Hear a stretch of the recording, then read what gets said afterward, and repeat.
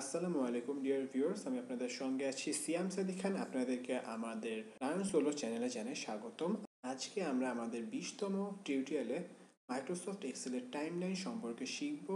অর্থাৎ আমরা কীভাবে করে মাইক্রোসফট এক্সেল টাইমলাইন ব্যবহার করতে পারি বা টাইমলাইনকে কাস্টমাইজ করতে পারি। অর্থাৎ বলতে গেলে যে ইউজ অফ টাইমলাইন সেই ব্যাপারটা নিয়ে আমরা আজকে শিখব।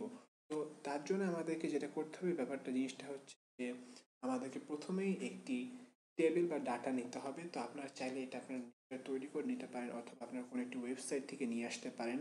আমি এটা আমার ইউটিউব চ্যানেলের পাঁচই নভেম্বর থেকে উনত্রিশে নভেম্বর পর্যন্ত কতগুলো ভিউ হয়েছে সেটা একটা চার্ট নিয়েছি আমার ইউটিউব চ্যানেল থেকে। আপনারা যারা ওয়েবসাইট থেকে মাইক্রোসফট এক্সেলে কোনো কিছু কপি পেস্ট করতে পারেন না তারা অবশ্যই আমার আগের টিউটোরিয়ালটা দেখতে পারেন, সেটা নিচে সাজেস্ট করা থাকবে, তাছাড়া ভিডিও শেষে সাজেস্ট করা থাকবে। তো আজকে আমরা যেটা শিখব, সেই জিনিসটা হচ্ছে যে টাইম লাইন তো টাইম লাইন জিনিসটা দেখে বোঝা যাচ্ছে যে জিনিসটাতে একটা ডেটের ব্যাপার স্যাপার আছে। তো এর জন্য অবশ্যই আমাদেরকে ডেট নিতে হবে, আপনারা দেখতে পাচ্ছেন। তো এখানে যে ডেট লেখা থাকতে হবে, তেমন কিছু নেই। এখানে ডেটের একটা ফরম্যাট রয়েছে, সেই ফরম্যাটটা লাগবে। আপনারা দেখ, যদি এখানে একটা সেলের মধ্যে ক্লিক করি তো আপনারা দেখতে পাবেন যে এখানে ডেটের একটা ফর্মেট চলে এসেছে, এই ফর্মুলা বারের মধ্যে। এখানে আপনারা দেখতে পাচ্ছেন প্রথমে রয়েছে মাস, তারপর রয়েছে দিন এবং সবার লাস্টে রয়েছে বছর। এই ফরম্যাটটাই শুধুমাত্র এক্সেল সাপোর্ট করে। কিন্তু আপনারা যদি ফরম্যাটটা চেঞ্জ করে দেন, অর্থাৎ প্রথমে যদি আপনি দিন দেন, তারপরে আপনি মাস দেন এবং লাস্টে যদি আপনি চাল দেন, তো আপনার জিনিসটা কাজ করবে না। কেননা এটা আপনার এক্সেলের ফরম্যাট না।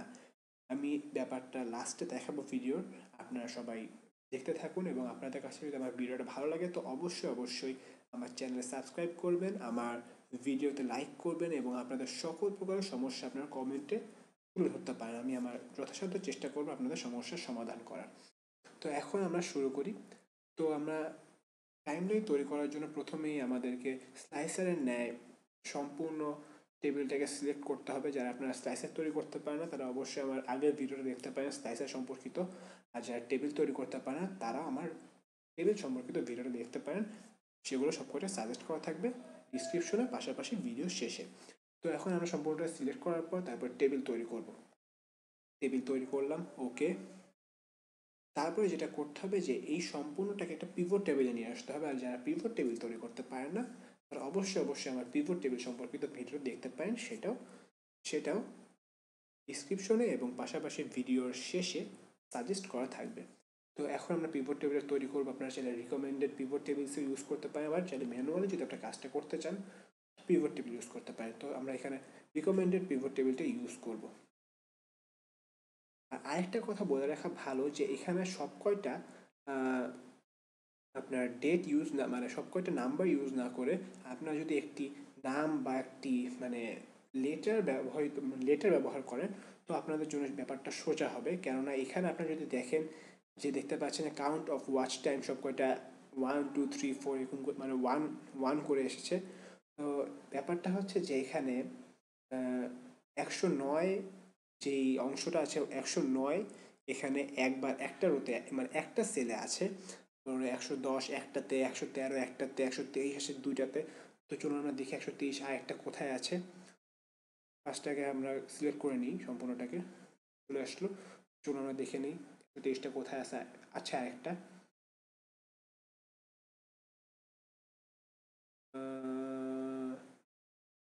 এই যে একটা একশো তেইশ, কোথায় গেল? এই যে একটা একশো তেইশ এবং এই যে একটা একশো তেইশ। দুইশো, দুইটা একশো তেইশ রয়েছে তাই ওইখানে একশো তেইশ, দুইটা রয়েছে।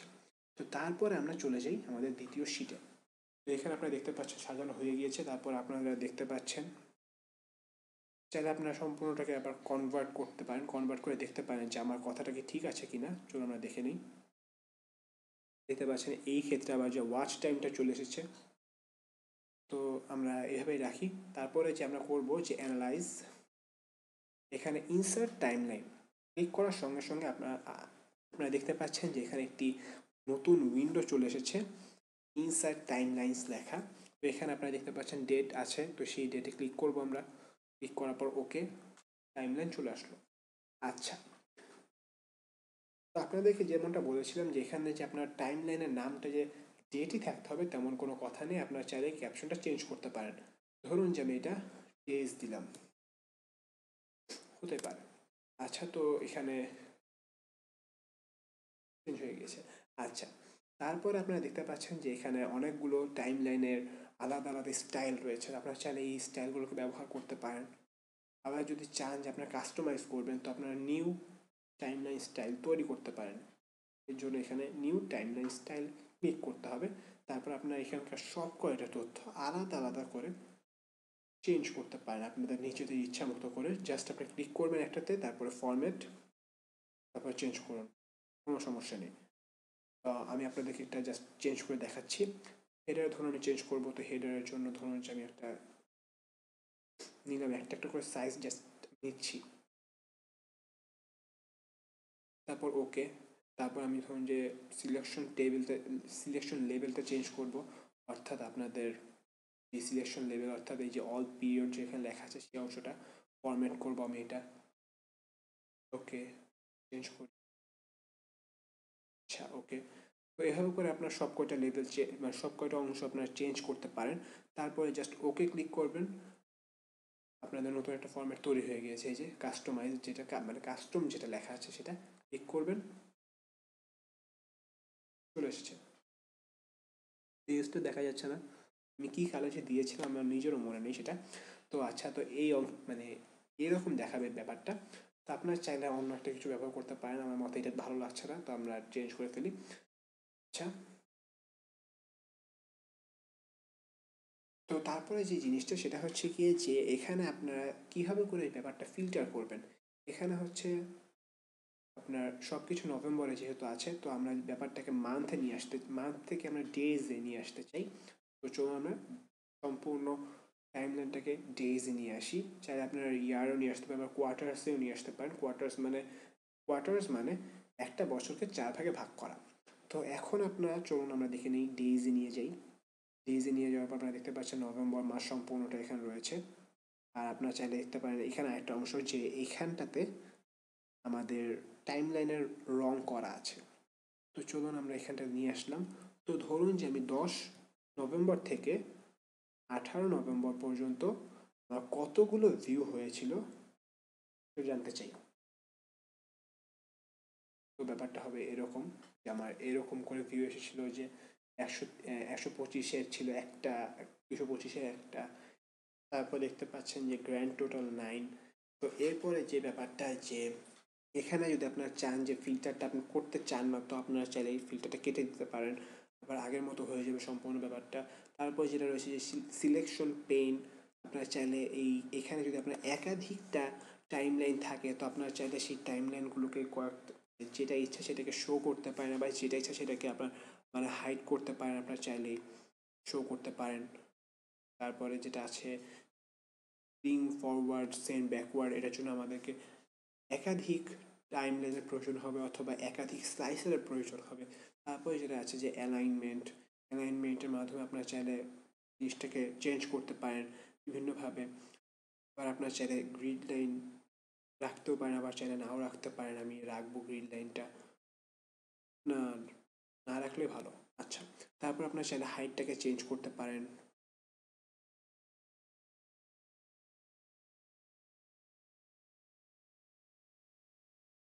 টেবিলে হাইটটা চেঞ্জ করি।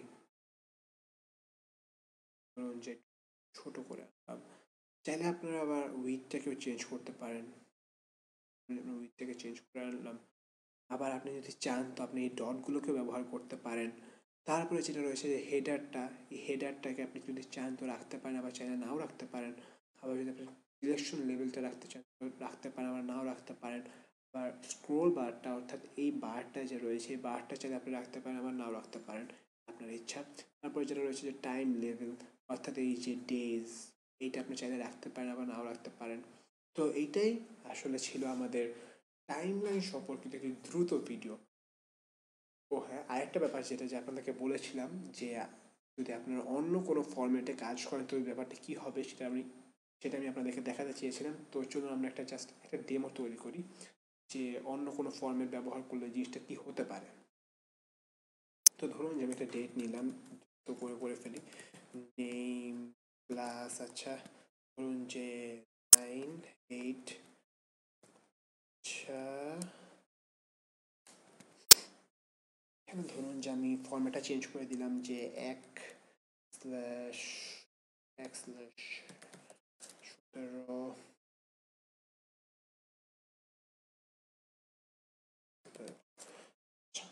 আপনারা স্বাভাবিকভাবে দেখতে পাচ্ছেন যে এই জিনিসটা যে এখানে কিন্তু এক নম্বর মাস আমাদের রয়েছে, দুই নম্বর মাসটা আমাদের রয়েছে। তো আমাদের এখানে যেটা করতে হবে, বারো এর উপরে থাকতে হবে। অবশ্যই আমরা জিনিসটাকে চেঞ্জ করে ফেলতে পারি, তেরোতে নিয়ে আসতে পারি, তারপরটাতে আমরা নিয়ে আসতে পারি তেইশে। আচ্ছা তারপরে আমরা সম্পূর্ণটাকে টেবিলে নিয়ে আসি। টেবিল তারপরে পিভট টেবিলে নিতে হবে। টেবিলে নেওয়ার পর পিভট টেবিলে ওকে, নিয়ে আসি। তো নেমটাকে দিয়ে দিই রোতে ক্লাসটাকে দিয়ে দিই ভ্যালিউজে চলে আসলো। তারপরে যেটা আছে যে আমাদের ডেট তো এখন স্বাভাবিকভাবে যে ডেট থাকলে আমাদের ডেট যেহেতু আছে, তো হওয়ার কথা ছিল, কিন্তু আমাদের যেহেতু ফরম্যাটটা মিলছে না তো দেখতে পাচ্ছেন যে we can't create a timeline for this report because it doesn't have a field formatted as date অর্থাৎ আমাদের যেই মাইক্রোসফট এক্সেলের ফরম্যাটে কোনো ডেট মাইক্রোসফট খুঁজে পাচ্ছে না। তো আমাদের এখানে কাজটা হতে পারবে না। আপনি যদি চান তো এখানে আপনারা চেঞ্জ করে দিতে পারেন।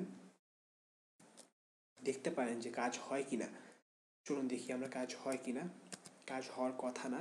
তো আবার সিলেক্ট করলাম। তো এখন আমরা যেটা করব যে চেঞ্জ করার পর আমরা আমাদের পিভট টেবিলেতে চলে গেলাম। এখন তো কাজ হওয়ার কথা ছিল। তো চলুন কাজ হয় কিনা দেখি। তার টাইম নেই। কাজ হচ্ছে না। কেন হচ্ছে না? কারণ হচ্ছে কি যে আমরা যখন একবার পরি মানে পরিবর্তন করে আমাদের পিভট টেবিলটা তৈরি করে ফেলেছি, তারপরে আর সেই অংশটা আর পরিবর্তনযোগ্য নেই। আপনি যদি চান তো আপনি সেই অংশটা, সেই শিটটা অথবা সেই পিভট টেবিলটা কেটে আবার নতুন করে পিভট টেবিল তৈরি করতে পারেন। তো আমরা আবার নতুন করে পিভট টেবিল তৈরি করব। পিভট টেবিল তৈরি করার পর এখন যদি আমরা কাজ করি, ধরুন যে নেম ক্লাস দিলাম আচ্ছা তারপর আমরা এখন যদি টাইমলাইন তৈরি করতে যাই ডেট চলে এসেছে। দেখতে পাচ্ছেন আপনারা? কাজ হয়ে যাচ্ছে। তো এটাই ছিল একটি টাইমলাইন সম্পর্কিত একটি দ্রুত টিউটোরিয়াল আপনাদের কাছে যদি আমার ভিডিওটা ভালো লেগে থাকে, তো অবশ্যই অবশ্যই লাইক করবেন কমেন্ট করবেন। আপনাদের কোনো, যে কোনো সমস্যা আপনারা চাইলে আমার ফেসবুক পেজ অথবা ফেসবুক গ্রুপে পোস্ট করতে পারেন, অথবা চাইলে আমার গুগল প্লাস গ্রুপেও পোস্ট করতে পারেন। সব কয়টা লিঙ্ক ডিসক্রিপশনে দেওয়া থাকবে এবং আপনাদের কাছে আমার ভিডিওটা কেমন লাগল সেটা অবশ্যই অবশ্যই কমেন্টে প্রকাশ করবেন। পাশাপাশি আমার যদি কোনো সমস্যা আপনারা দেখে থাকেন, আমার যদি কোনো ইম্প্রুভমেন্টের দরকার পড়ে, তো অবশ্যই অবশ্যই সেগুলো আমাকে জানাতে ভুলবেন না। আমি আমার নিজেকে শুধরে নিতে সবসময় প্রস্তুত রয়েছি।